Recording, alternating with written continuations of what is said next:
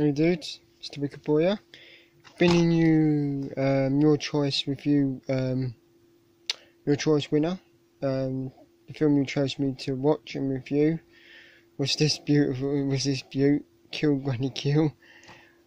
This film is so much fun. Um, basically, it's the, it's the story of this granny, and she's the leader of this sort of like clan and um,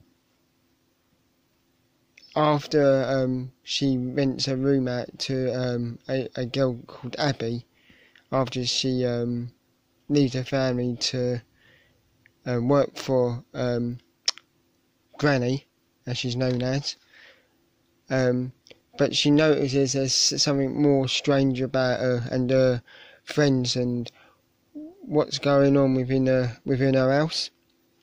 Um, it plays. I mean, this film pays homage to um, quite a few films that you might recognise during the film. It is. Um,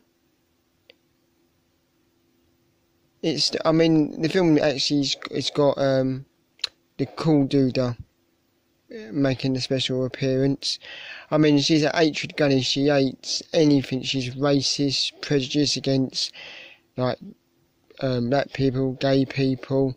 You know, she's one of just an, and she comes off as um, at first she comes off as a sweet, sweet, um, you know, old person next door. Wouldn't hurt a fly. You know, you would help her help her across the road. You know, help her with her shopping. Um, but she holds um, an unexpected streak about her which um, you need to find out yourself because this is as far as I'm going to go. I will recommend this. I mean, a lot of people have seen this um, and have commented on before when I last showed it in that update. Um, yeah, it, like I said, it, you will recognise um, a couple of other people um, within the film. It's not too long. I think it only just goes over the um, hour mark, so it's it's not a long film at all.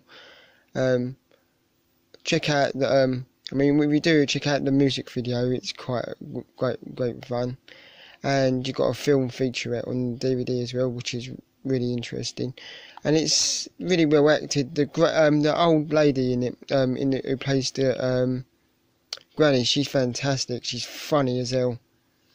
Really, really bad, and the the effects are good.